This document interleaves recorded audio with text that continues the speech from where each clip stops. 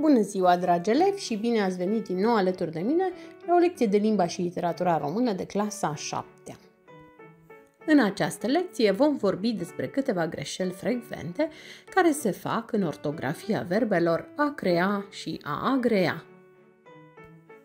Dar care sunt sensurile verbelor a crea și a agrea?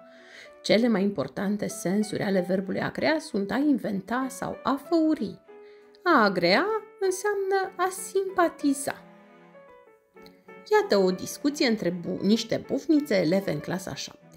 Urmăriți verbul din fiecare replică. Care este scris greșit?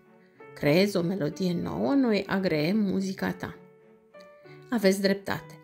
Ambele variante sunt scrise greșit. Ambele verbe sunt greșite. Vă propun să le corectăm.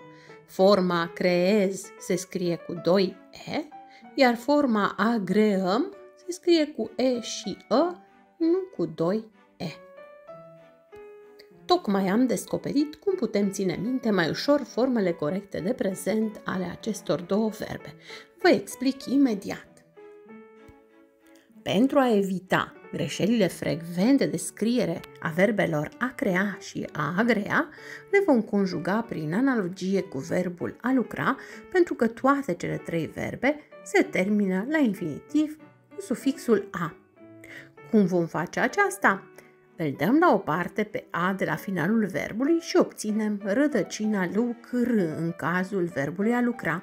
Apoi îl conjugăm adăugând desinențele pentru fiecare persoană.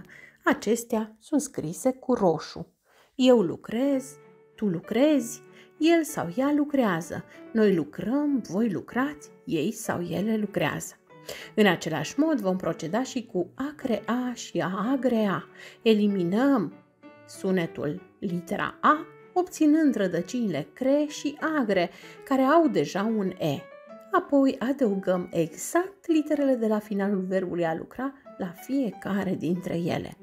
Observăm astfel ușor când apar doi E sau EE, respectiv EA. Pentru a vedea dacă ați înțeles, vă propun să exersăm. Exercițiul vă cere să scrieți pe linia punctată forma de indicativ prezent potrivită a verbelor a crea și a agrea, respectând persoana indicată. Puteți să puneți pe pauză prezentarea până când rezolvați exercițiul. Buvnița studioasă a primit deja coroniță pentru rezolvarea corectă a exercițiului.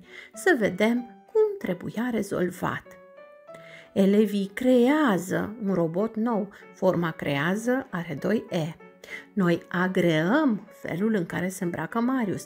Forma agreăm are E, -ă în interior, nu E, E, cum am fi unii dintre noi tentați să scriem. Alexandra creează poezii frumoase. Din nou, forma creează are doi E. Știu că tu nu-l agreezi deloc pe Adrian, dar e un băiat sensibil și generos. Forma agreezi se scrie cu doi E. Am aflat că voi creați un film despre școala noastră. De această dată, forma creați se scrie cu EA, nu cu EE. Ați ajuns la finalul acestei lecții și vă felicit. Nu uitați, pentru a fi siguri că scrieți corect formele verbelor a crea și a agrea la modul indicativ, timpul prezent, trebuie să comparăm aceste forme cu cele ale verbului a lucra. Un verb serios, nu? Vă aștept cu drag la o lecție viitoare. Pe curând!